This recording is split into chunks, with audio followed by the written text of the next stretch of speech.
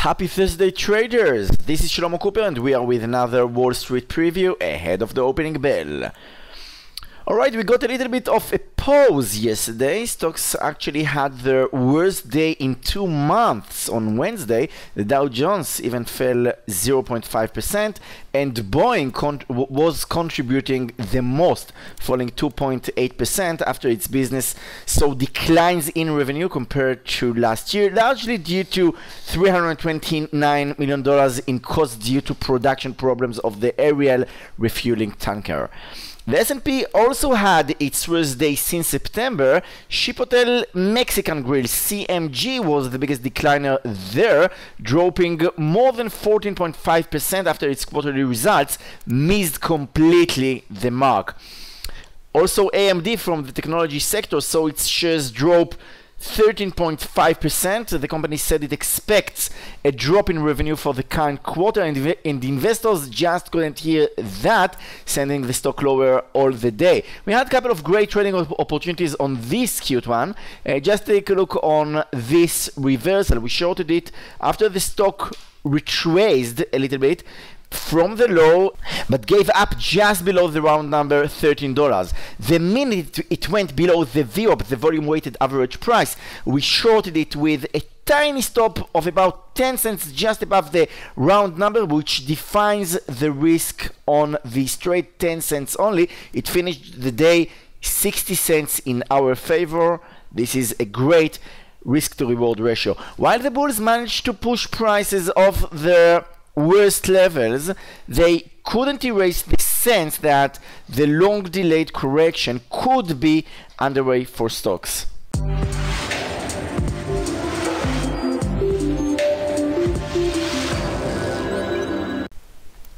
Alright, trade of the day. IPOs are one of the most thrilling and promising financial phenomena available on the stock exchange for individual traders. They, they often produce once in a lifetime opportunities for big profits for the little guy who buys a stake in the stock of a new company fresh off the delivery room. There is so much profit for individual traders to take from IPOs, and maybe the only downside is we don't get enough of them. If IPOs were the music of life, give me more of them. Case in point, ABLX, which was featured in this video yesterday. This is a pharmaceutical company from Belgium that started its life in Wall Street yesterday. And as I teach my traders in our top trader course for advanced trading, there are six conditions an IPO must pass in order for us to trade it. But once it passes them, you can spread your smile all over your face because there are good chances it's going to be big. Let's take a look on that IPO and how I traded it. I waited for the second five minute bar to play, and after it was completed and the stock got all six check marks in place, I uh, made, I sent a buy order above the high. Looking on the chart now, it seems quite easy from about $18.5 per share, the stock rocketed to the outer space with almost 30% in gains by the end of the day, but it wasn't so easy. Just look how in the first 20 minutes the stock went sideways and actually stretched our nerves to the edge. I took my first partial profit here at around $21 uh, for about two and a half dollars per share and then the last half as I uh, as I direct my traders I sold at the end of the day. Of course I can't wait for today's IPO and for uh, those IPOs set to debut on Friday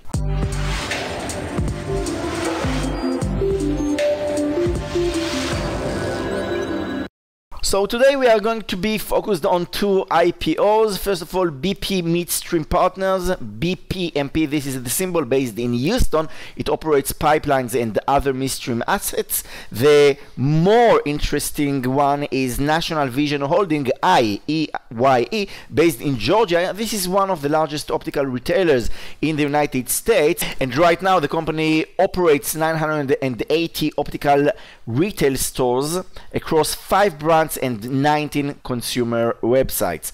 After the closing bell, the earnings season is heating up with key earnings from Amazon, Microsoft, Intel, Google, you name it, among dozens of other companies. So far, earning news and news in general, you know, hasn't affected the market much. Let's see if that is going to change. If the market can be, it can show a little bit more emotion, can be a little bit more emotional, the odds will be higher. We are in a topping process. Have a great trading day guys and i'll see you in our next video. Bye bye